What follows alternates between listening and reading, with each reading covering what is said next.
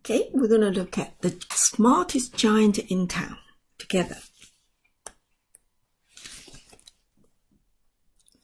Georgie was a giant, the scruffiest giant in town. He always wore the same pair of old brown sandals and the same old patched up gown.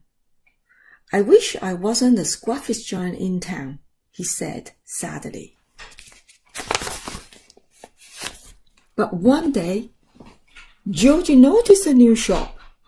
It was full of smart clothes, so he bought a smart shirt, a smart pair of trousers, a smart belt, a smart stripy tie, some smart socks with diamonds up the sides, and a pair of smart shiny shoes. Now I am the smartest giant in town, he said proudly. George left his old clothes behind in the shop. He was about to go home when he heard a sound. On the pavement stood a giraffe who was sniffing sadly. What's the matter? asked George. It's my neck, said the giraffe. It's so very long and so very cold. I wish I had a long warm scarf. Cheer up, said George, and he took off his stripy tie. It didn't match my socks anyway, he said as he wound it round and round the giraffe's neck. It made a wonderful scarf. Thank you, said the giraffe. As George strolled towards home, he sung to himself. My tie is a scarf for a cold giraffe, but looked me up and down. I am the smartest giant in town. George came to a river. On a boat stood a goat who was bleating loudly. What's the matter? asked George. It's my sail, said the goat. It blew away in a storm. I wish I had a strong new sail for my boat.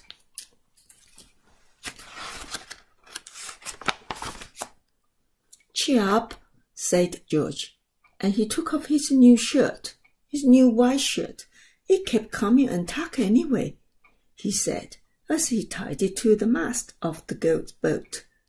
It made a magnificent sail. Thank you, said the boat. Goat. George strode on, singing to himself. My tie is a scarf for a cold giraffe. My shirt is on a boat as a sail for a goat. But look me up and down, I am the smartest giant in town.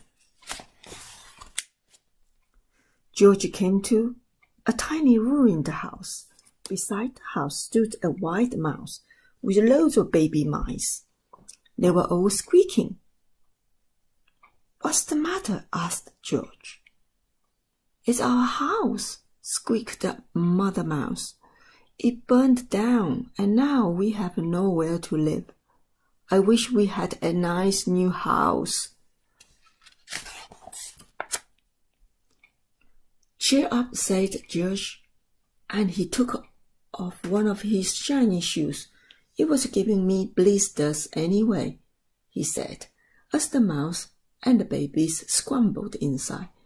The shoe made a perfect home for them. Thank you, they squeaked. George had to hop along the road now, but he didn't mind. As he hopped, he sang to himself.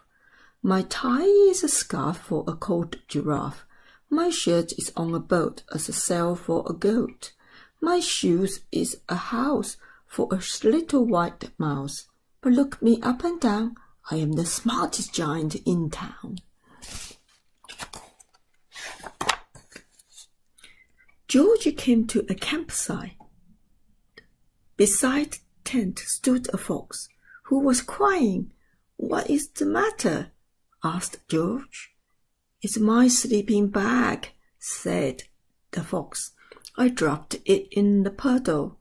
I wish I had a warm, dry sleeping bag.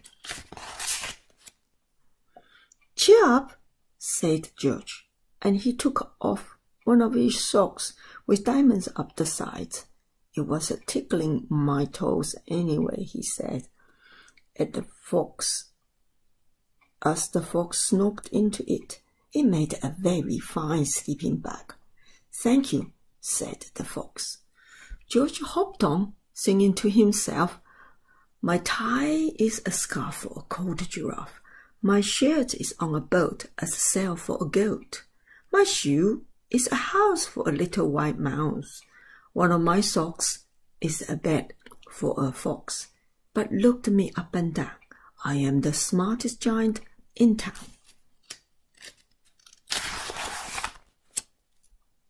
George came to a big scratched bog. Beside the bog stood a dog, who was howling. What's the matter? asked George. It's, it's, it's this bog, said the dog. I need to get cross, but I kept, I kept getting stuck in the mud.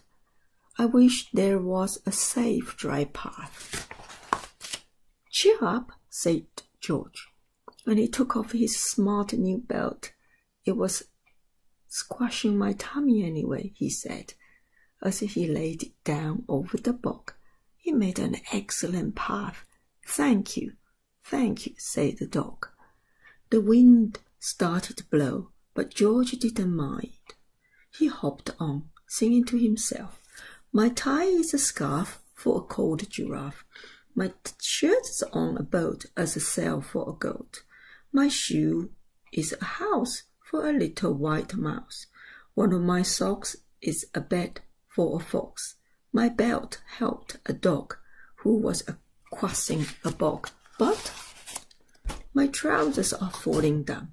I am the coldest giant in town. Suddenly George felt sad and shivery, and not at all smart. He stood on one foot and thought, I will have to go back to the shop and buy some more clothes, he said. He turned round and hopped all the way back to the shop. But when he got there, it was closed. Oh no, cried George. He sank down onto the doorstep, and a tear ran down his nose.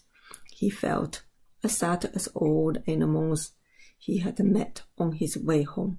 Then, out of the corner of his eye, he saw a bag with something familiar poking out of the top. George took a closer look. My gown, he yelled. My dear old gown and sandals. George put them on. They felt wonderfully comfortable. I am the coziest giant in town, he said, and he danced back home along the road. Outside his front door stood all the animals he had helped. They were carrying an enormous present. Come on, George, they said. Open it. George untied the ribbon. Inside was a beautiful gold pa paper crown and a card. Look inside the card, George, say the animals. George put the crown on his head and opened the card. Inside it said, your tie is a scarf for cold giraffe. Your shirt is on a boat as a sail for a goat. Your shoe is a house for a little white mouse. One of your socks is a bed for a fox. Your belt helped a dog who was crossing a bog. So here is a very fine crown to go with the sandals and gown of the kindest giant in town. Hope you enjoyed the story. If you have a gold crown, who would you give this crown to? To someone who has been kind to you, who care for you, and who love you dearly.